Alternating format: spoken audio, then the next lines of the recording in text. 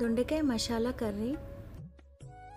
మసాలా కోసం ఒక four spoons oil heat చేసుకొని అందులో వన్ స్పూన్ జీలకర్ర వన్ అండ్ హాఫ్ స్పూన్ ధనియాలు. గోల్డెన్ బ్రౌన్ వచ్చినంత వరకు ఫ్రై చేసుకోవాలి. వన్స్ గోల్డెన్ బ్రౌన్ వచ్చిన తర్వాత ఎండిమిరపకాయలు వెల్లుల్లి అండ్ ఒక పెద్ద సైజు ఉల్లిపాయ పీసెస్ కింద కట్ చేసుకొని అవి కూడా వేసుకొని ఫ్రై చేసుకోవాలి పచ్చివాసన పోయినంత వరకు. అర కేజీ దొండకాయల కోసం ఈ మసాలా అనేది సరిపోతుంది.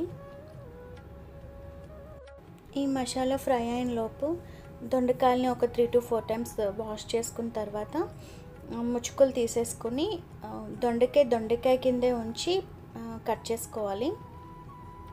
గుత్తి దొండకాయకి ఎలా కట్ చేసుకుంటామో అలాగే కట్ చేసుకోవాలి. ఇక్కడ నేను చూపించేటట్టు కట్ చేసుకోవాలి. సో దట్ మసాలా అనేది దొండకాయకి పడుతుంది.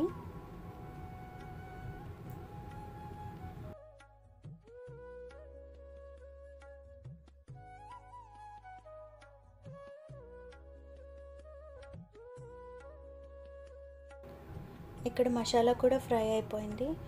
ఇది కంప్లీట్గా చల్లగా అయిన తర్వాత ఒక మిక్సీ జార్లోకి ట్రాన్స్ఫర్ చేసుకొని పేస్ట్ కింద చేసుకోవాలి.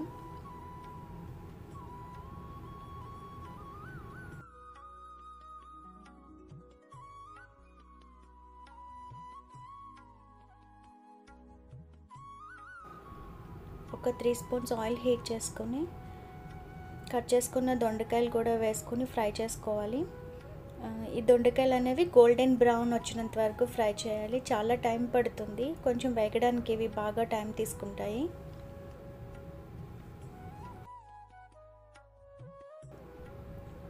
ఒక ఫైవ్ మినిట్స్ మూత పెట్టుకొని మగ్గి పెట్టుకోవాలి. తర్వాత తగినంత సాల్ట్ యాడ్ చేసుకొని బాగా మిక్స్ చేసుకొని మళ్ళీ లిడ్ కవర్ చేసుకొని ఒక ఫైవ్ మినిట్స్ ఫ్రై చేయాలి.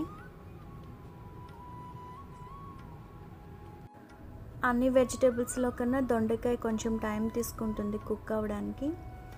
ఇక్కడైతే ఇది ఒక సెవెంటీ ఫైవ్ పర్సెంట్ ఫ్రై అయిపోయింది. సో నేను ఇప్పుడు కొంచెం కరివేపాకు యాడ్ చేస్తున్నాను. కరివేపాకు యాడ్ చేసి ఒక త్రీ మినిట్స్ ఫ్రై చేసిన తర్వాత ఏమైతే మసాలాని ఫ్రై చేసుకుని పేస్ట్ చేసామో అది కూడా యాడ్ చేస్తున్నాను. ఈ మసాలా పేస్ట్ వల్లనే కర్రీకి చాలా టేస్ట్ ఉంటుంది. ఎప్పుడు ఒకేలా కాకుండా ఈసారి ఇలా ట్రై చేయండి చాలా బాగుంటుంది. దీన్ని బాగా ఫ్రై చేసుకోవాలి. ఆయిల్ రిలీజ్ అయినంత వరకు బాగా ఫ్రై చేయాలి. కర్రీ అనేది కంప్లీట్ అయింది.